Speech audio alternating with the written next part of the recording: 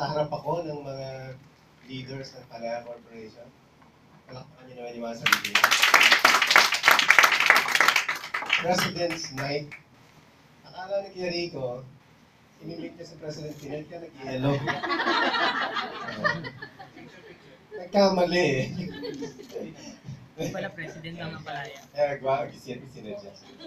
Eh, may ini-endorse ko sana siya. Eh, bawal ho mag... Ako, I will not use my influence to persuade you to, to vote for anyone. So, it's... Uh, Duterte! Pero, uh, but let's, let's continue. Alright? Let's continue. Um, sinabi nila sa akin, Tol, Sir, let's have a President's Night. Uh, President's Night. Tapos nag-request sila ng, ng message from me. Pero alam niyo ba, this is not about me, this is about you. Um, natuto ba kayo dun sa sa Project 20? Yes. Natuto ba kayo? Yes! Nag, nagpapasalamat ba kayo kay Sir Ruben? Yes! Palakpakan niyo naman si Sir Ruben. Ganun ha? Isa pa, mga parang hihina eh. Pero alam niyo ba, if you really appreciate what he has done, practice. Pra- i- Let's put it into practice. Let's let's let's become the leader that he perceived you to be. Yun po yung pasasalamat na ma-appreciate niya pag ginamit niyo yung natutunan, natutunan niya sa P20.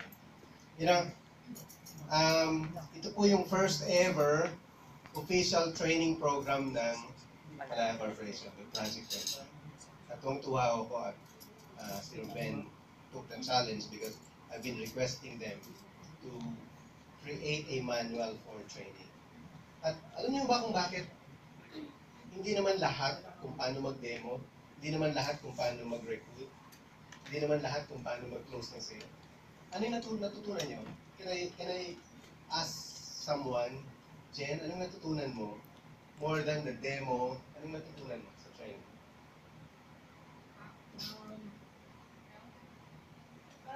Building relationship. Yeah, building relationship. What else? Yes, then.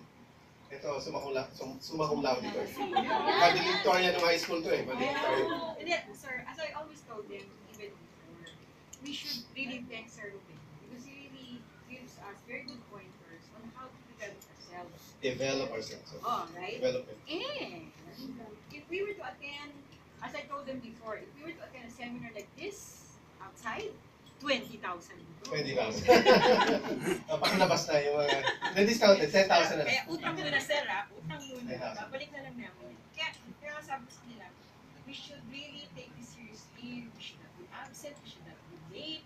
Because this is already a very good indication that the company is bent on making a mark on with our products. And I've proven it time and again, sir. Talagang, syempre si, ano, si Sir Dexter has been very supportive. Si Sir Iggy Boy. And I really see that in the future talaga, ha, we will be up there. The known brands. Kikilalanin ng leaders. Come on. Come on. Thank you, Denny. Personality development, how to relate to people, um, increasing your, uh, ano yun bro? Your knowledge.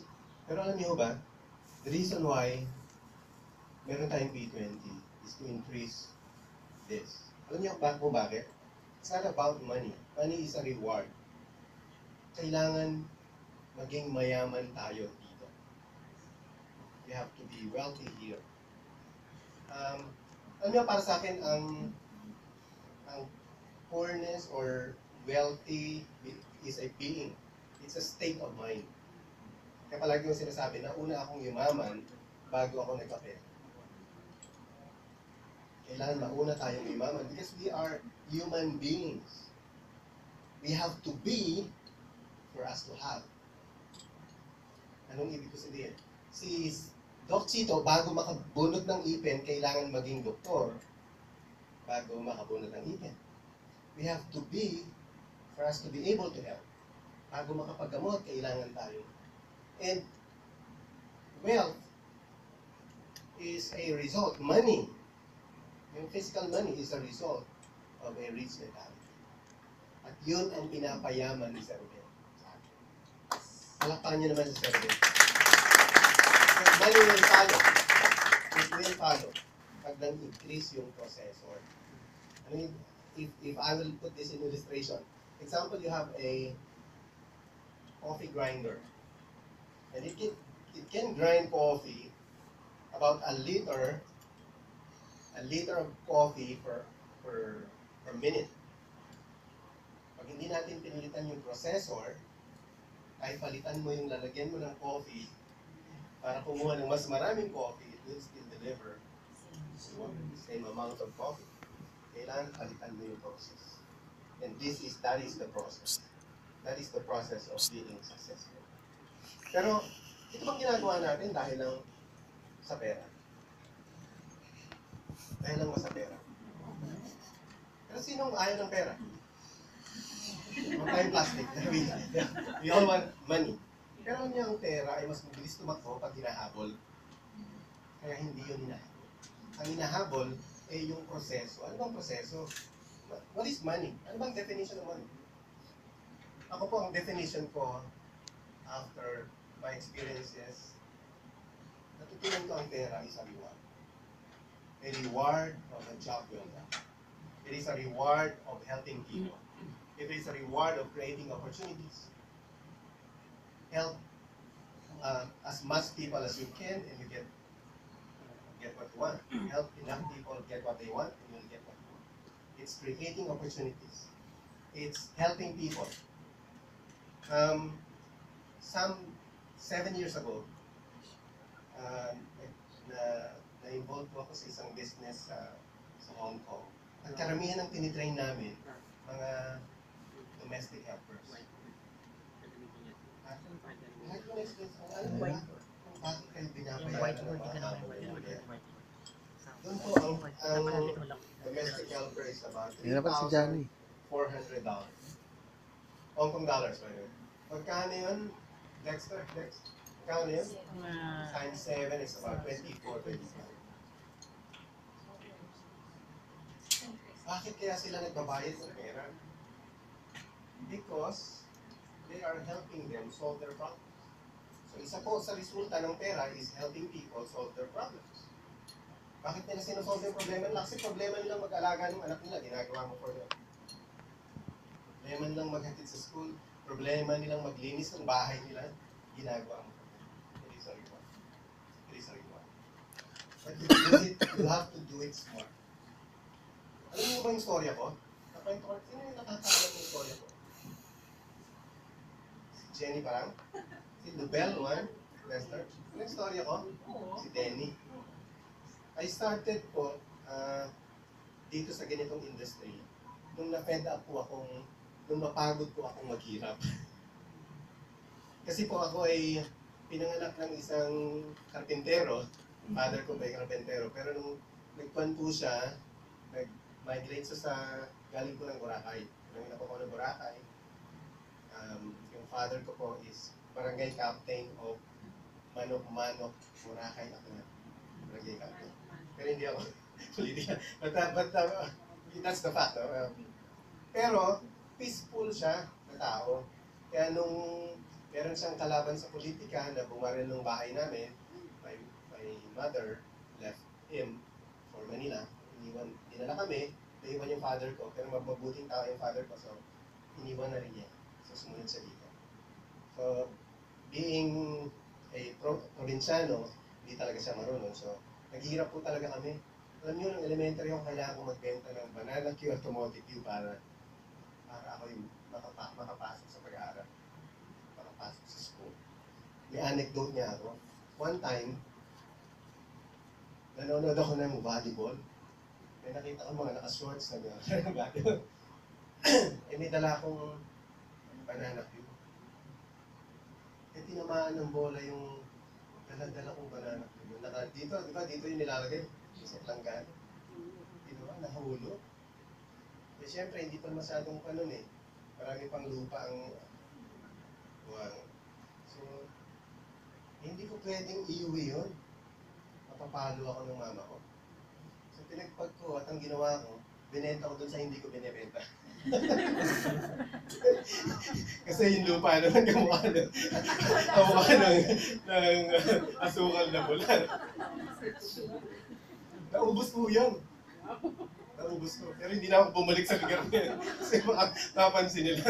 Parang ligas-gas yung asukal na bulan. Dahil mahirap ang buhay. Um, biglang natuto po yung father ko being entrepreneur, no? Nagkuhan siya, nangontrata siya. Nagpag, nag-imbita pa siya ng iba pang taga-Boracay na workers at natuto siyang mag-build. Naka-leverage siya, natuto ako doon, naka-leverage siya. Kabe, alam niyo kung bakit? Kasi 50 yung tao niya. Meron siyang limang proyekto, tig sa sampu na, na tao, bawat isang proyekto. So naka-leverage siya, nakikita ko madalas siya sa bahay, pero mas maganda ang kita namin. Hindi yung mas madalas siyang wala sa bahay, pero wa- walang wala kaming kita. And dumating yung time na medyo maayos yung buhay, kung kailangan mo yung gamit mo sa school, nakalimutan, meron kang tatawagan, dadalhin sa school. So, ganun yung buhay namin when I was third year high school. At when, nung fourth year high school, my father, ah, natapos ako ng fourth year high school, nakakuha ko ng scholarship sa Tamang Tasan ng Lungsod ng Maynila, you know PLM. Nag-aaral na ako nun. Na-diagnose ng cancer yung father ko noong February 1985. Na-diagnose siya ng February, namatay siya noong September. 1985. That's maybe. Ang mas masakla pa doon, inubos niya yung ipon. At naiwan, naiwanan kami ng about 300,000 na utang. Sa capital niya. So kapag, palagi kong sinishare ito, kapag namamata, nawawala, nawawalan tayo ng head of the family because of disease, sickness, hindi lang nawawala yung tao. Minsan nawawala yung pangarap ng mga nakas, nakadepende sa kanya. Yung, yung brother ko, yung youngest brother ko, totally hindi na nag-aaral. Ako ho, huminto ako sa PLM kasi ang hirap naman, kahit scholar ako nun, ang hirap naman lakarin yung Project 8 at saka Intramuros. Project 8 ako nakatira, Intramuros yung eskwela. So huminto ako at napilitan ako mamasukan ng janitor. Sa cute kong ito, nagja-janitor ako. 1985. 1985. 1986. And then I continued my study. And nakita naman nung school, sa eskwela na po, uh, janitor. Yung aking potential daw, Teach daw, so sabi na, ako ng education. Then I finished Bachelor in Education, major in math. 1992, graduate ako. I took the board exam, same same year. I made it to board exam, top 20. And nagturo na ako dun sa school na yun. At nagturo po ako ng 5 years. Pero nung first year, nung second year ko na nagtuturo, ang hirap ng buhay. I think I was receiving 12,000 back then. Mahirap ang buhay. Simula magpamilya, mahirap ang buhay. Lahat gastos, di ba? May apartment, So, natatandaan ko ang sinabi ng tatay ko, magsipag. Di ba? Ganun ang turo ng Pilipino tatay, no? Magsipag. So, nagsipag ako. Turo ako sa umaga, nag-tutor ako sa hapon. Yun lang ang opportunity na meron ako. Teacher, anong opportunity ng teacher? Hindi magbenta ng longganisa. uh, mag-tutor. Hindi ba sa magbenta ng longganisa? Uh, tutor. So, pumupunta sa Grace Christian High, nag-tutor ako dyan. Nagbabayad dyan ng 1,500 every month para igawa ko sila ng assignment. Ganun ang practical yung tutor. ang tutor. Pero ginawa ko na yon ng isang taon, wala pa rin akong ipon, kulang pa rin yung sweldo at yung finance. So wala na akong oras. Teacher ako sa umaga, tutor ako sa hapon, sa gabi na lang. Walaan niyo kung ano ginawa ko ng gabi. Balot. Balot. Sabi nung pa, balot. May nagsabi eh. Nagbenta ng katawan. Macho dancer sa gabi na lang. eh, payato to ako nun, hindi pa, Ba, hindi naman na, wala namang bibili. So, so balot ko yung pwede ko talaga ibenta. So, nagtinda ako ng balot. At ginawa ko yon ng mahigit dalawang taon. Teacher sa umaga, tutor sa hapon, balot vendor sa gabi. After three years, wala pa rin akong ipon. Buti na lang ako binabasa akong libro. Sabi dun sa libro, if you want to change your lifestyle, change what you do. Because it is insanity to expect different result while doing the same thing. Kabaliwan daw na umasa ka na magbabago yung resulta kung ginagawa mo pa rin ay the same. Turo ka sa umaga, tutor ka sa hapon, vendor ka sa gabi. Ginagawa mo na yan ng 3 years, hindi ka nakakaipon. Imposibleng asahan mo na after 10 years, makakaipon ka.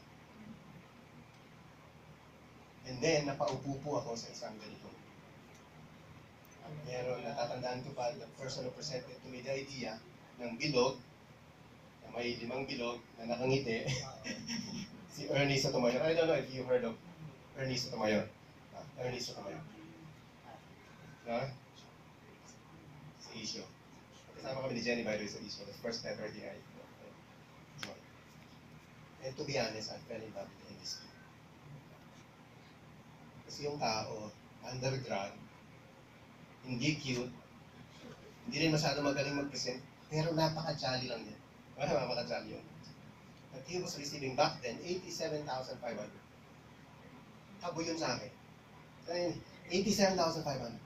Paano mo ginawa yan? Sinikreto ko sa, paano mo ginawa yan? Naka-science teacher ako, graduate ako siya, undergrad siya. At ang kwento niya, hindi siya bed spacer. He is only a, a former spacer. Ano yung spacer? Sa boarding house po nila, kapag bed spacer, plus 200. 500 lang ang upa, pero pag may bed, plus 500. So siya, wala siyang bed, naglalatag lang siya ng karton. So tawag din sa sarili, I'm just a spacer. Ano yung spacer? Walang bed eh. A Bicolano who works in Jollibee, part-time, and nag-build siya ng network. But he loves people. Nakikita mo sa kanya, he loves people. Sabi ko siguro, dami mong benenta. Di ba? Yung nagano, commission mo, 87,500. Hindi ko nakikilala nun sa Ericsson and I, uh, eventually nakilala ko sa Ericsson Raimundo, French Gitan, J. Duque. Uh, 87,500. Pinakita niya sa akin yung kanyang voucher, commission voucher. 87,500. Personal sales. Palagi nandun sa report yan eh. Jen, di ba? Una, personal sales. 2,500. How in the world? Bumenta ka ng 2,500. Commission, 87,500. Ah, pero doon sa baba, group sales. The king, posible talaga. Kasi doon, no, parang, yung buhay ko nun, parang huminto na. Parang nawawalan na ako ng pag-asa kasi, ano pang gagawin ko para makaipon? Nagtinda na ako ng balot sa gabi. Sabi ng principal ko, you go back to school and get masteral. Dalawang taon ulit, magkano, ma'am, okay, magkano po dagdag? 50 pesos per unit. Babalik ako sa school. get another degree, master, tapos 50 pesos per unit. Pwede ba mag-masteral? So parang, di ba, alam mo na, ano ano na, hindi ko naman alam na natataas ang teacher ngayon. Teaching, yung mga teachers ngayon, mataas na, 21 na 22. Tama ba? Tumaas na. But back then, parang wala akong walang future ng, ng teaching, teaching profession. And then, again, I fell in love with industry. At wala na ho akong ginawa. Except this kind of, alam nyo, if you can be trusted, if you can grow yourself, if people can trust you, this is the opportunity. You have to make a lot of money, talk to a lot of people. Tatlo lang mo talaga. Talk to people. Pangalawa, talk to people. Pangatlo, talk to people. Wala akong ibang sekreto. But when you talk after ditong training na to, di ba, you're on a different, you're on different level, di ba? Parang mas, mas confident ka. Tama ba yan? mas confident ka, mas pinagmamalaki ng industry, hindi mo kinakahiya na networking. Di because it is what a a network. Diba? Ang taas ng tingin ko sa industriya. Hindi, alam mo, I, I'm, I'm just blessed talaga that I, I'm with the people who, ngayon, with the people who believe in the industry. Na gustong gumawa ng tama sa industriya. Kasi ang industriya ho, talaga namang may good and bad apples sa lahat ng industriya. Unfortunately, maraming bad apples sa industriya ng networking sa Pilipinas. Pero there is a good, there are good apples in this industry. Like the Amway, the Herbalife. These are legitimate, international known, the Usana. These are good companies. Legitimate companies. Palaya Corporation. Soon to be.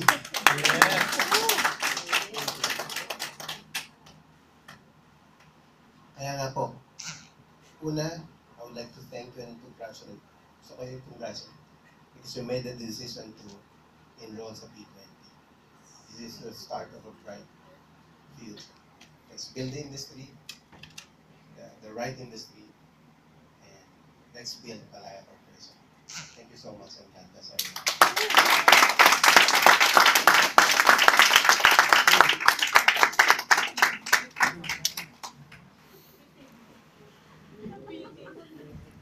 Thank you, Sir Iggy.